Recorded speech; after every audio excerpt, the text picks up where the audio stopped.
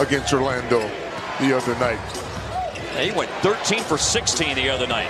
What a pass. And how about that dime?